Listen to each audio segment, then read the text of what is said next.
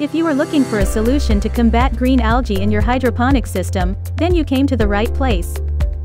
Hello everyone, welcome back to Urban Food Forest. In this video, I am going to show you the safest, easiest, and most affordable tips for getting rid of green algae. So be sure to watch until the end, the last trick is a guaranteed win.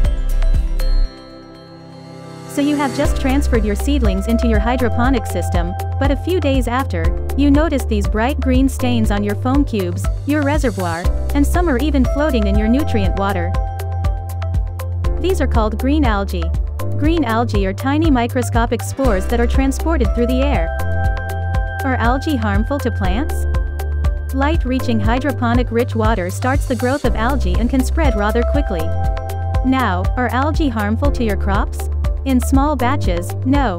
But they are plant-like, they will multiply from all the love and care that you are giving your hydroponic crops from the nutrient-rich water, the right water temperature, and abundant light so they will be growing along as your crops grow. When an alga is abundantly growing in your hydroponic system, it will cause a major problem to your crops. It can cause buildup in your system, can penetrate your pump and can cling to every surface. Once they are able to invade your plant medium and your nutrient water, they will pose a major problem as they will be competing with your crops. The nutrients will be depleted as algae use them to grow. Your crop's source of nutrients will become scarce, and the oxygen dissolved in the system will severely drop.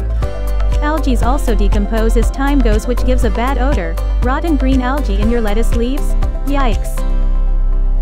Thankfully, there are proven ways to control algae in your system. You can do this by following these fail-proof steps. But before we head on to that, be sure to visit our website in the video description below to get access to our friendly community of growers sharing their tips and tricks, as well as participate in our fun weekly challenges. You are watching Urban Food Forest. On with the show. A combination of sunlight and nutrients favor the growth of algae, be sure to cover every spot possible so the sunlight would not reach your nutrient water. You can do this by using opaque nutrient water reservoir, pipes, and tubing. Covering the grow medium with perlite, pebbles, or you can also be creative and use black dark cloth as a medium cover. If you notice that algae are already developing especially in the hard-to-reach areas of your hydroponic system, you may use food-safe hydrogen peroxide. Use 3 ml per gallon of your nutrient water and allow it to run in your system.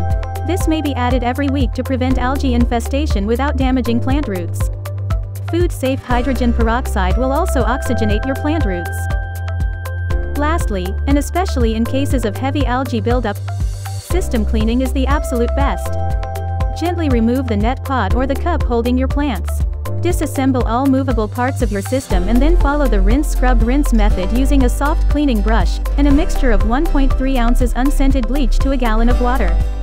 Completely dry out all parts before putting them back for a new cycle again. Be sure to use a new nutrient water mix as well.